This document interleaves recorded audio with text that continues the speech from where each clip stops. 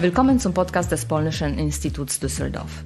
Wir sprechen über polnische Literatur, aktuelle Bucherscheinungen, neue Ausstellungen und Filme und vieles mehr. Heute stellen wir den Roman Philipp von Leopold Tyrmand vor. Leopold Tyrmand und seine Bücher genießen in Polen bis heute Kultstatus. Tyrmand wurde 1920 in Warschau geboren. Er war Schriftsteller, Journalist und Publizist. Er war auch ein scharfsinniger Beobachter und erschuf in seinen Büchern eine einzigartige literarische Chronik von Menschen und Orten. Für die Jazzgemeinde ist Tillmann untrennbar mit den Anfängen des Jazz in Nachkriegspolen verbunden. Bereits 1947 gründete er in Warschau den ersten Jazzclub, organisierte berühmte Jazzkonzerte und verfasste die erste polnischsprachige Jazzmonographie. Seine Liebe zu Jazz ist auch in dem Roman Philipp hörbar. Auch andere autobiografische Erlebnisse hat er in dem Roman verarbeitet. Zum Beispiel äh, seinen Aufenthalt in Frankfurt am Main 1942 bis 1943, das Spannende daran unter falscher Identität. Darüber und über das Buch Philipp erzählt uns Peter Oliver Löw, der es ins Deutsche übersetzt hat. Wir hatten Sommer, das heiße Ende des Junis 43 hinter dem Fenster von Piotrs Zimmer lag, erstarrt in der Hitze, Frankfurt. Piotr stand in einer Badehose in der Mitte des Zimmers und trocknete sich mit einem Handtuch die langen, schlanken Beine ab.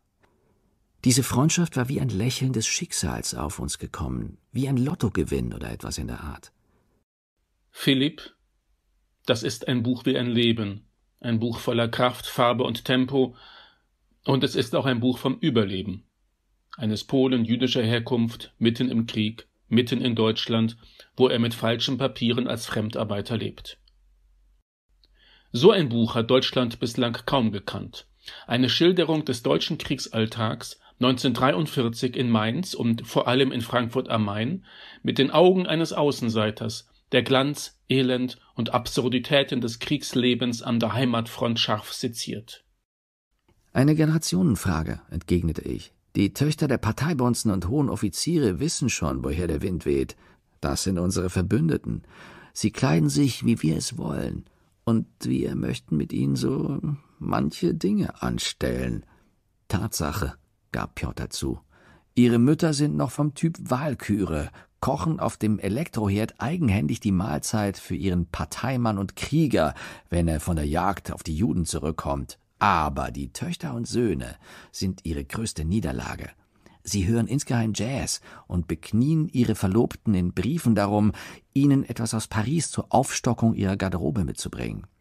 Ihnen liegt mehr an italienischen Strümpfen als an Rommels Einsatz von Tripolis.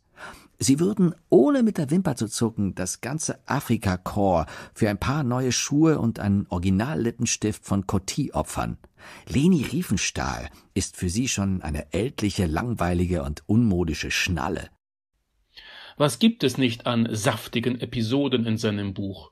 Ein Großempfang mit Nazibonzen, Badefreuden am Main kritisch beäugt von ausgemergelten Deutschen, ein Jazzkonzert im Café Schumann und Gespräche mit deutschen Landsarren. Und worüber sprechen sie? Natürlich über Frauen.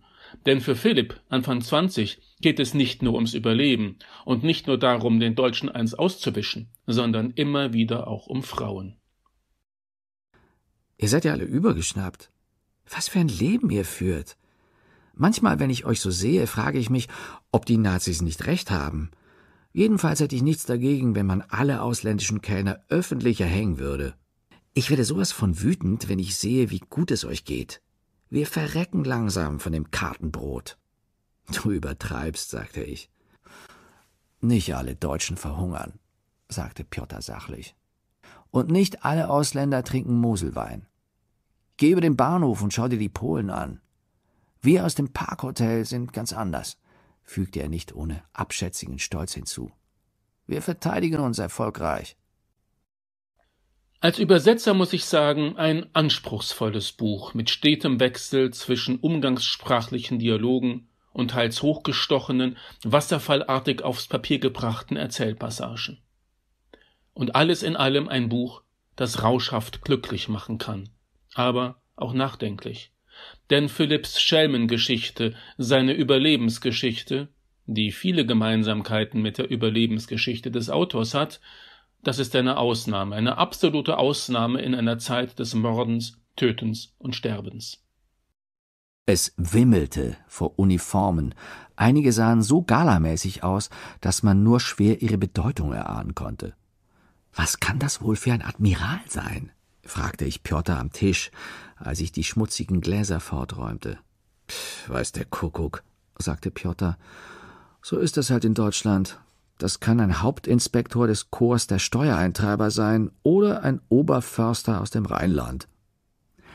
Fehlerfrei erkannten wir sämtliche Uniformen der Wehrmacht, der Luftwaffe und der Kriegsmarine in allen Schattierungen. Nicht schlechter wussten wir über die Kleidung der Sicherheitsbehörden, der Polizei, der SS und der Sondereinheiten Bescheid. Wir hatten Ahnung von den Uniformen der Hilfsdienste und technischen Organisationen wie der Organisation Todd oder des Kraftfahrkorps Speer. Doch das, was sich jetzt vor unseren Augen tummelte, ließ unser bisheriges Wissen auf Null sinken. Warum das Buch erst jetzt, 60 Jahre nach der polnischen Erstausgabe, auf Deutsch erscheint, bleibt ein Rätsel. Aber es ist nie zu spät, um ein großartiges Werk zu entdecken.